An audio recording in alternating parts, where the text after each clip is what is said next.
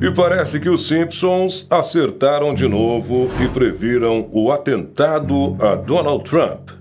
Já se perguntou como um desenho animado poderia prever assustadoramente o futuro? No dia 13 de julho de 2024, o mundo foi abalado por um acontecimento inesperado: o atentado ao candidato à presidência e ex-presidente dos Estados Unidos, Donald Trump. Enquanto ele discursava na Pensilvânia, sons de tiros assustaram toda a multidão até que Trump sentiu algo e se abaixou caindo ao chão. Os seguranças imediatamente correram para o palco para cercá-lo e protegê-lo. Mas será que os Simpsons acertaram de novo? Eles previram esse acontecimento? Eu sou Henrique Brasil e é isso que eu vou te mostrar no vídeo de hoje. Como muitos sabem, o seriado Simpsons é amplamente conhecido por seus episódios que, de maneira sutil e com o característico humor sarcástico da animação, retratam situações com figuras da vida real que acabaram se concretizando no futuro. Atualmente, a série não faz mais parte do catálogo da Fox. Na verdade, a Fox foi adquirida pela Disney em 2018 e toda sua programação foi incorporada a essa nova gestão. Para se ter uma ideia, em 1998, essa negociação nem passava pela cabeça de nenhuma das duas empresas. No entanto, no quinto episódio da décima temporada, há um letreiro em um dos estúdios da Fox que diz: uma divisão da Walt Disney Company. Os produtores, de alguma forma, previram essa fusão? É interessante pensar quantas grandes produtoras existiam em Hollywood naquela época que poderiam se interessar pela Fox, mas os criadores da série mencionaram justamente a Disney, o que é, no mínimo, muito suspeito e surpreendente, não é? Em 1995, o programa também previu o futuro colapso da ponte de Baltimore, e isso aconteceu esse ano. Na madrugada de 26 de março de 2024, um navio de carga perdeu toda a potência e o controle e colidiu com a ponte Francis Scott Key de Baltimore, causando o seu colapso total. Isso causou um frenesi incomum na internet, com muitos especulando que o programa de TV animado dos Estados Unidos já havia previsto esse colapso da ponte também. Mas será verdade? Bom, em 1995, um episódio de Os Simpsons intitulado Bart on the Road apresentava uma cena em que uma ponte em Springfield chamada Baltimore desabou quando um caminhão carregado de uma carga muito pesada cruzou a ponte. A cena retratava o caos e a destruição enquanto a ponte cedia, causando confusão no trânsito e levando a uma resposta de emergência. Alguns interpretaram este retrato fictício como uma previsão, uma premonição. O episódio foi ao ar em 31 de março de 1996 e o colapso da ponte na vida real em Baltimore aconteceu em 26 de março de 2024, quando o navio de carga perdeu a potência dos motores e colidiu com a ponte, causando o seu colapso total. Quase três décadas depois, o evento realmente aconteceu e os Simpsons continuam com a reputação de aparentemente prever eventos futuros em várias situações. Não sabemos se os criadores do programa possuem uma forma de adivinhar ou se é mera coincidência na maioria dos casos, mas as aparentes previsões podem ser atribuídas à longa história do programa, à extensa cultura de referências e à sátira abordando questões contemporâneas. Isso permite que eles explorem inadvertidamente temas e eventos que mais tarde se tornarão relevantes. A previsão do colapso da ponte é um exemplo dentre muitos casos em que os Simpsons foram associados a eventos do mundo real. E quanto às outras ocorrências, como a implosão do submarino da Ocean Gate com seu proprietário e passageiros, os Simpsons previram isso também?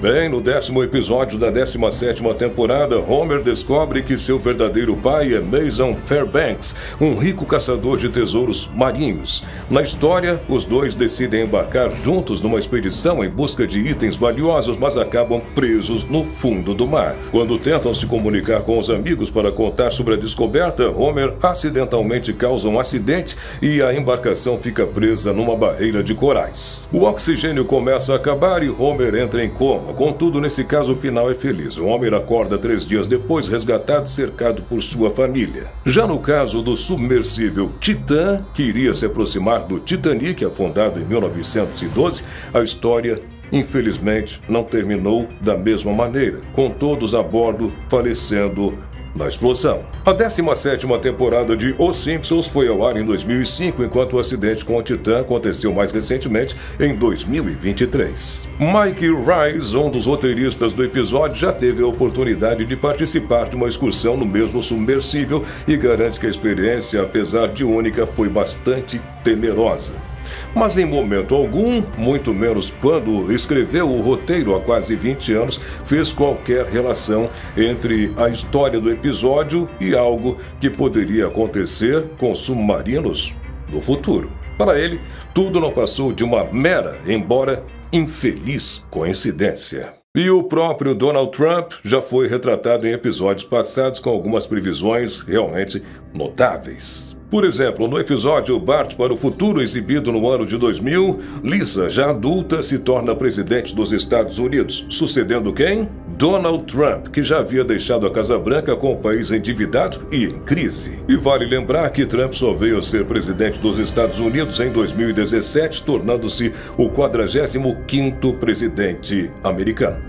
Atualmente, Trump está novamente participando da corrida presidencial, desta vez contra Joe Biden, que atualmente ocupa a cadeira mais importante da Casa Branca. E como de costume, os candidatos percorrem o país para apresentar suas plataformas de governo e conquistar os eleitores. Trump estava em Butler, na Pensilvânia, e por volta das 6h15 da tarde, no horário local, foram ouvidos tiros durante o seu discurso. No segundo disparo, o candidato republicano coloca uma das mãos na orelha direita, olha para a mão e rapidamente se abaixa atrás do púlpito. Os agentes imediatamente o cercam enquanto os tiros continuam. Por sorte, apenas um tiro passou de raspão e transfixou sua orelha direita, e Trump ficou rapidamente protegido nesse local pelos seguranças.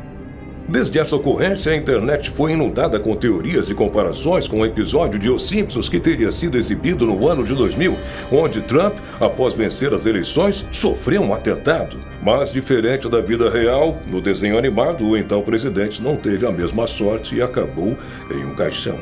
Acima de seu leito, na animação, há datas de nascimento e falecimento, 1994 e 2024. Seria apenas uma coincidência? O que você acha realmente disso? Deixa aqui abaixo teu comentário. Quem chamou a atenção para a suposta previsão foi um usuário do X, o antigo Twitter. A controvérsia estourou quando ele compartilhou capturas de tela do episódio, sugerindo que o programa havia previsto o tiroteio envolvendo Donald Trump. Isso levou a uma enxurrada de reações online, com alguns expressando incredulidade e outros usando humor para discutir essa previsão. A partir do primeiro compartilhamento, muitos procuraram pelo pelo episódio, mas o máximo que encontraram foi o que Lisa se tornou presidente derrotando Trump nas urnas. Até mesmo as produtoras já disseram que não prevêem qualquer coisa, eles apenas trabalham com a história e o que está acontecendo na atualidade como base para desenvolver os roteiros, portanto, tudo não passa de mera coincidência. Mas você provavelmente se lembra de um vídeo em que Homer Simpson desce uma escada rolante logo atrás de Donald Trump, com várias pessoas ao seu redor. Pois bem, há uma cena bastante parecida na vida real, onde Trump está realmente descendo a escada rolante de um shopping center nos Estados Unidos, cercado por eleitores e fãs, enquanto ainda era candidato à presidência. A animação foi postada pela própria produção em 7 de julho de 2016, três semanas após o anúncio da candidatura de Trump e poucos dias após sua visita ao shopping. Intitulada Trump Static Voyage, a animação foi uma brincadeira dos produtores com a candidatura de Trump, onde Homer tem uma viagem transcendental ao tocar as mechas douradas de Trump na escada rolante. Por isso, encontrar o episódio que mostra Trump na escada rolante não é uma tarefa fácil, pois trata-se de um curta-metragem da animação lançado pelos próprios produtores. E antes de todo esse acontecimento, enquanto todos se concentravam nos prós e contras de uma presidência de Trump, os criadores de Os Simpsons foram rápidos em ressaltar que o programa previu que Trump seria eleito em 2024. É um momento que desafia a lógica e se torna ainda mais chocante após a fala do profeta chamado Brandon Biggs que, junto com os Simpsons, não só previu o atentado de Donald Trump, assim como previu que esse atentado faria Trump vencer as eleições de 2024. Entrevistado pelo pastor Steve Chocolate de uma igreja neopentecostal americana no final de março, Brandon falou sobre sua visão e descreveu exatamente como aconteceu, nos mínimos detalhes. Realmente é assustador escutar essa previsão detalhada dessa maneira, sendo que o vídeo foi postado há quase quatro meses atrás. E quanto aos Simpsons, a parte mais louca de toda essa história é o fato de que os episódios foram lançados antes de Trump ser presidente, adicionando outra camada de mistério à situação que já é confusa por si só. Mas tem algo que eu preciso te falar. As imagens que estão viralizando nas redes sociais mostrando Trump em um caixão com suas datas de nascimento e falecimento impressas, trata-se de uma imagem cuja origem ainda não foi confirmada e que não é recente. Provavelmente não é uma criação da produção de Os Simpsons, que até agora não se pronunciou sobre isso. Sabe-se que sua origem foi na plataforma X e posteriormente se espalhou para outras redes. Mas voltando ao que realmente aconteceu, em resposta ao incidente, Trump emitiu uma declaração detalhando o momento em que percebeu que havia sido baleado, expressando gratidão ao serviço secreto e às forças de segurança pela resposta, pela ação rápida de proteção a ele. Ele também estendeu suas condolências às famílias afetadas pela violência no comício.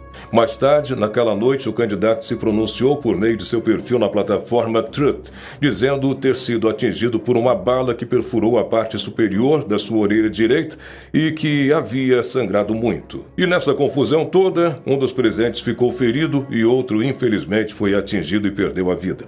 O atirador também foi localizado e neutralizado pelo serviço de segurança.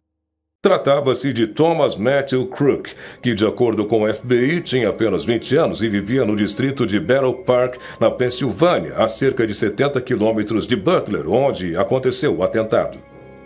Até agora, a polícia acredita que Crook tenha agido sozinho, mas o caso ainda está sob investigação.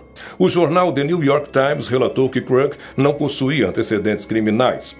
De acordo com a Associated Press, a polícia encontrou um fuzil semiautomático AR-15 no local do ataque. O sistema eleitoral da Pensilvânia indicou que Crook estava registrado como republicano. Mas também, segundo a Associated Press, ele fez uma doação de 15 dólares para o Comitê Progressista que apoia os democratas no dia da posse de Joe Biden, em 2021. O FBI não divulgou mais detalhes sobre as investigações ou sobre o atirador, informando que as motivações do ataque ainda são desconhecidas.